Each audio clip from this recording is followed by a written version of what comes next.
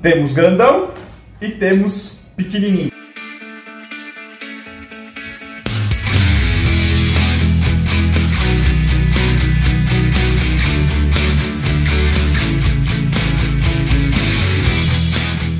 Fala pessoal, Felipe, canal Bojuter Brasil e hoje é dia de deixar o Ronaldo molhadinho porque olha o que eu tenho em mãos, o Ranging Hunter da Taurus. Cara, é um 357 Magnum, tá com flagzinho aqui, ó, tá? Vazio, limpo, tá? Estamos num clube de tiro, a bala tá comendo, inclusive, tá? Estamos num clube de tiro, lugar seguro, controlado, apropriado para a gravação. E nós temos aqui em mãos um revólver 357 e, cara, que puta tesão esse negócio aqui, né? Vou fechar aqui para poder mostrar. Ah, características principais que eu vi dessa arma. Ah, nós temos um protetor de mira, a mirazinha dele aqui, ó, tá? Aqui, ó, a mirazinha dele aqui, ó. Não muito diferente dos 38 que eu já peguei da Taurus. Eu particularmente gosto dessa mira, apesar que eu acho que falta um detalhezinho vermelho aqui. Nada que um esmaltezinho da mulher não resolva. É, ele tem esse compensador de recuo, né? Sai aquela chama de dragão assim quando você atira, legal pra caceta.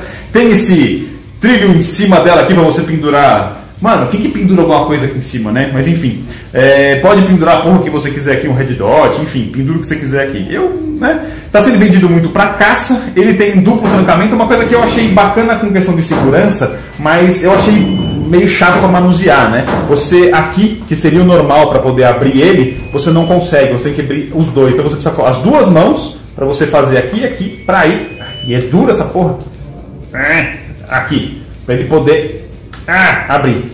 Tá? É, é, difícil a abertura dele com essas duas travas de segurança. Honestamente, eu achei desnecessário isso daqui. Mas é uma coisa de segurança a mais. Segurança é sempre bom, né? É, especialmente porque ninguém vai portar uma porra dessa, né? Só para na Casa Bahia. É, só para na Casa Bahia. Esse, aqui, esse aqui é bom para na Casa Bahia. Não, o cara é cromado é mais legal. E é 44. Né? E é 44, é show de bola. É, uma outra coisa que eu achei desse revólver, a empunhadura dele é muito bacana, muito gostoso, mas ele é pesado.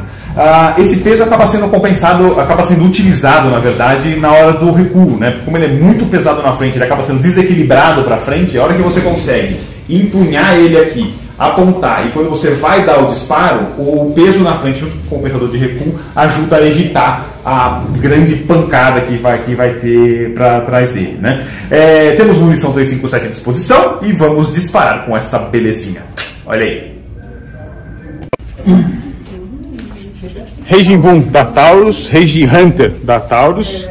Vamos ver como é que ele dispara aqui. Vamos atirar com esse aqui com a nova. Aqui, ele vai falhar. Aqui. Isso. Vamos lá, lembrando do dedinho, protejam, protejam os dedinhos. Pista quente. Gente!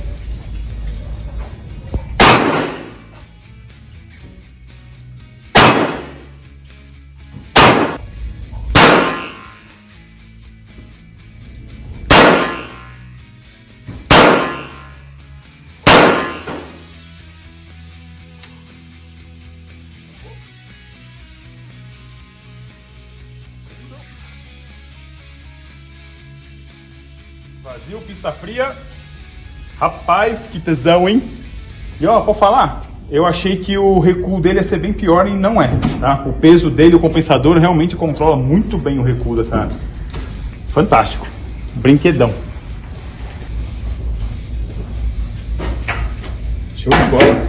E voltando aqui, um tesão de arma, cara, um puta tiro gostoso. É, uma coisa que eu achei desse revólver com relação ao disparo, tá? Ele é extremamente pesado, tá? O, uma, tudo bem que é uma arma nova, mas o gatilho aqui na, na, na ação dupla aqui, cara, ele é duro, pesado de trazer e não é muito difícil gatilhar, ainda ele sendo, ainda que ele seja é, Ó, ele, pra trazer ele é, ele é bem pesado, tá? Na dupla aqui, ele já fica bem mais confortável.